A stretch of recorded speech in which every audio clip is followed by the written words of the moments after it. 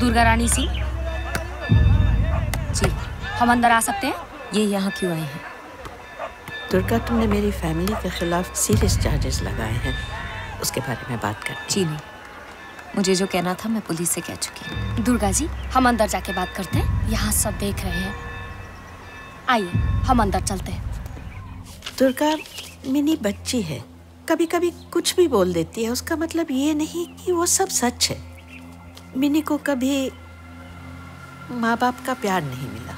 इसलिए वो बचपन से ही थोड़ी मेंटली अनस्टेबल पागल नहीं है मिसेस दीवान दिमाग तो आपका और आपके बेटे का खराब है। जो मिनी के साथ मोहित ने मिनी के साथ कुछ नहीं किया किया, है। मिनी ने खुद मुझे बताया है। मिनी की बात का कोई भरोसा नहीं दुर्गा कल वो बोले कि छत पे से तुमने उसको धक्का दिया। क्या मैं मान लूँ?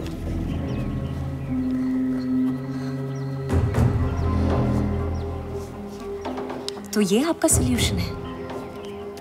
मिनी को पागल साबित कर दो ताकि कोई उसकी बात ना माने। दुर्गा मैं मिनी को जन्म से और इसीलिए आपने मोहित को इजाज़त दी उसके साथ वो गंदी हरकतें करने की। मोहित मिनी को अपनी बेटी की तरह प्यार करता उसे है। प्यार नहीं मिसेस दीवान उसे अब्यूज कहते हैं शोषण कहते फिर हैं। मिनी ने आज तक कुछ कहा क्यों नहीं?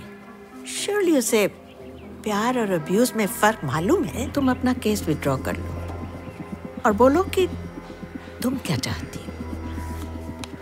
मैं आपको और मोहित को जेल जाती देखना चाहती हूँ। क्योंकि आज अगर मिनी को प्यार और अब्यूज के बीच फ़र्क नहीं पता तो वो आपकी वजह से है। दुर्गा जी ये आपने किसी और को तो नहीं बताया? नहीं बहुत अच्छा किया।